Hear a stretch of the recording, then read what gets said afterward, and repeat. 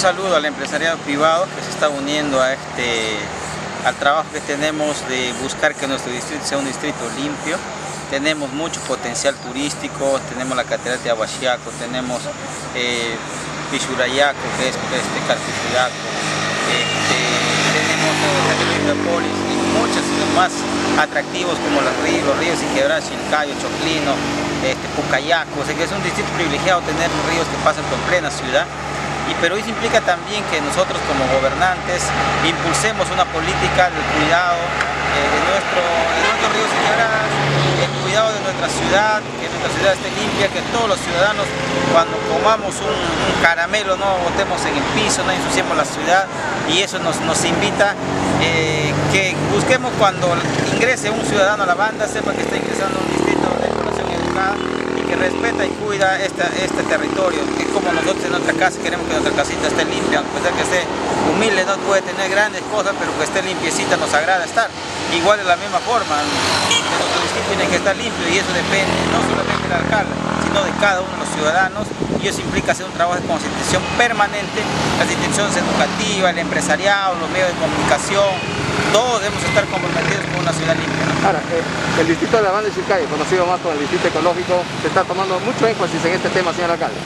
Y estamos trabajando fuertemente, hace poco hemos hecho limpieza con Trabaja Perú de Chilcayo y Choclino, y ha, quedado bastante bonito, bien, bien, bien este, acondicionado, limpio, pero eso puede durar poco si la población misma lo ensucia, entonces eso necesitamos que todos asumamos nuestra concientización, este distrito tiene mucho potencial, tiene infraestructura hotelera, tenemos Puerto Palmeras, el Tucán Suí, tenemos el Ecoterro de Chilcayo y las demás infraestructuras hoteleras conocidas en la región eh, o, han visitado personas de diferentes partes del mundo, pero venir a un distrito y encontrar en pésimas condiciones que viene a ser la limpieza y eso definitivamente depende de la población también. El fin de semana se ha reforestado el distrito, hemos tomado 2.000 plantones, señora alcalde. Sí, estamos haciendo un trabajo fuertemente con eh, Yacuiterra, que es una empresa también que ha estado dando muchos plantones al Colegio Innova, al Colegio este, Ciencias, que están haciendo un trabajo también de proyección social y que el fin de semana pasado han hecho el sembrío de plantas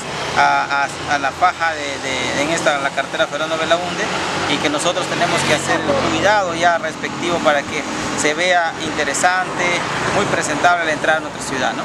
Muchas gracias, Bien, este, buenas tardes. Eh, hecho un trabajo en realidad este, organizado por la Municipalidad de Ciudad de Chilcayo. Eh, acabamos de culminar eh, la semana de la educación ambiental. Eh, hemos hecho trabajos importantes como la reforestación de las principales este, vías de acceso a nuestro distrito. Esta semana es la semana de la reforestación.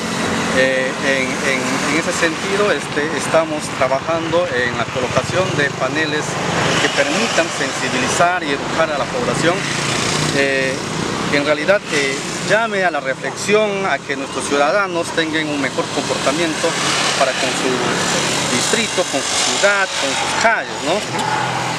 Este es un trabajo eh, que lo venimos desarrollando con nuestras áreas de fiscalización principalmente. La meta es instalar 25 este, paneles en diversos puntos estratégicos de la ciudad Ahora ya vamos 11, este es uno de los paneles. Y también en ese sentido, permítame agradecer al empresariado, ¿no? a Fabrini, las Lisas, Yacuterra, eh, me, me olvido, eh, Grupo Selva también creo que está apoyando. Selva, sí, este, eh, son cinco hasta ahora que se han sumado, ¿no? y que eh, se vienen sumando en realidad más. ¿no? Eh, en ese sentido hemos estado coordinando eh, directamente con el empresariado que excelentemente ha respondido a ello, a este llamado. Están, este, ellos están auspiciando en realidad todo este material que permite sensibilizar a la población. También hay madereras que están instaladas acá en nuestra ciudad. También vienen contribuyendo con, con, la madera. ¿no? En realidad es un trabajo que viene siendo eh, instalado pero eh, sin costo a, la municipalidad. en realidad es el aporte de nuestro empresariado y principalmente. este trabajo, ingeniero, de trabajo educativo, de colocar estos paneles educativos, de concientizar a la población para cuidar el medio ambiente, ¿va a continuar? Eh, ¿Cuántos paneles se, se, piensa poner en nuestro distrito? Este es un trabajo permanente que nuestra área de fiscalización eh, lo viene haciendo a lo largo del, del año, ¿no? sino que eh, eh, con mayor fuerza lo estamos haciendo ahora, va a continuar a lo largo del año, 25 es la meta en este mes, pero la meta final de este año es 40, ¿no? 40 paneles que permitan rápidamente visualizar que nuestros ciudadanos lean, se sensibilicen, reflexionen con, ¿no? para con, su ciudad, ¿no? que lleven eh, un mensaje que de verdad les permita cambiar de actitud y que eso también sea transmitido a la familia. ¿no? La familia es clave en este trabajo. Necesitamos ciudadanos que estén concientizados y eh, seguros ¿no? Eh, de que su medio ambiente es el sitio en realidad que se debe cuidar, es el mejor lugar para vivir y en ese trabajo nos encontramos ahora. Muy bien, muchas gracias ingeniero, muy amable.